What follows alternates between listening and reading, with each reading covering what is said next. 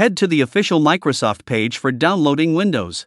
Link in the description. make sure you feel the heat.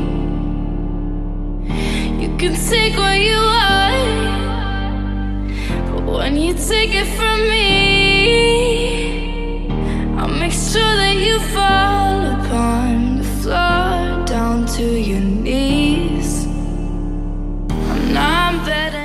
Click the Download Now button. This will likely take 15 minutes or so, depending on your internet speed. I'm not asking for a miracle, just you and me.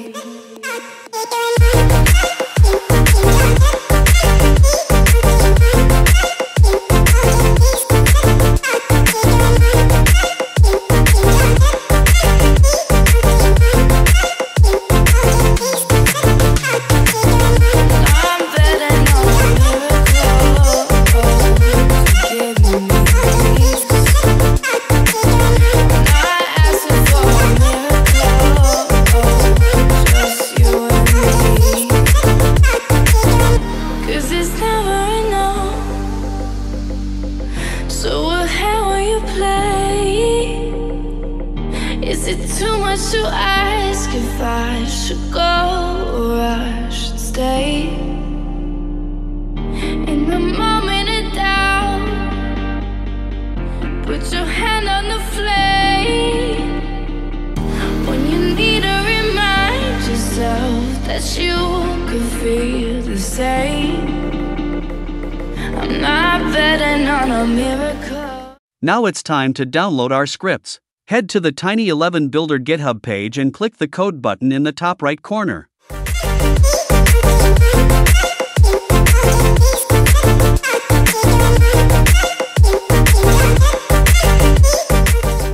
Next, click Download Zip and unzip that download.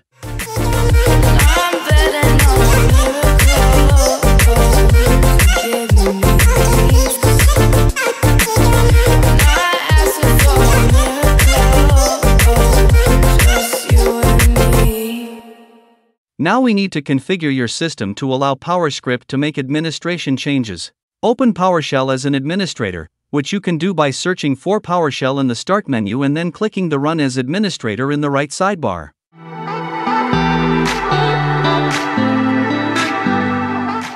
Type this exact command and hit Enter.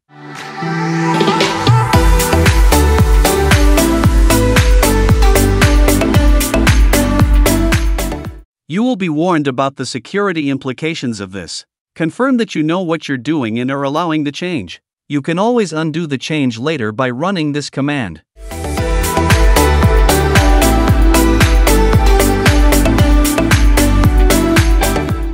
Right click the Windows 11 file and click Mount. This will open the ISO file as a virtual CD, which you can confirm by looking for it in Windows Explorer.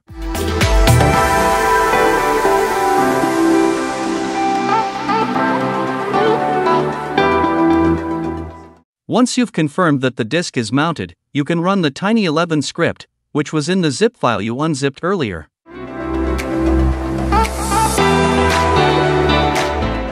Right click the file tiny11maker.ps1 and click Run with PowerShell.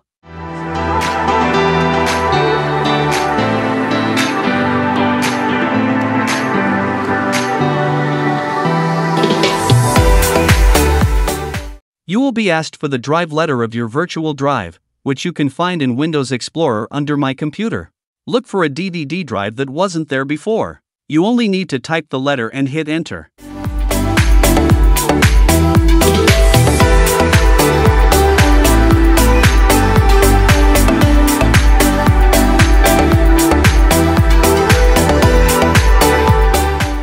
After that, the script will ask you which version of Windows you want to make a disk for.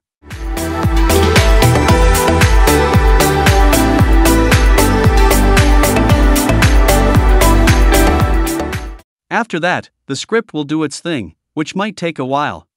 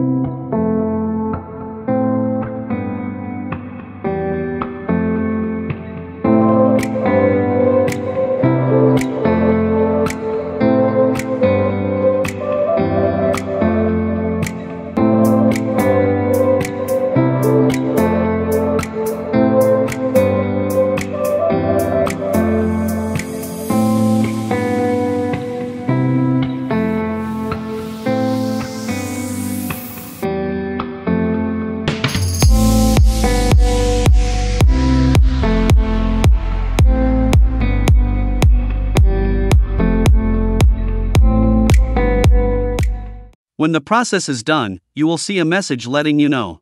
There will be a brand new ISO file in the scripts directory. However, you install Windows from this ISO, know that it will be completely clean.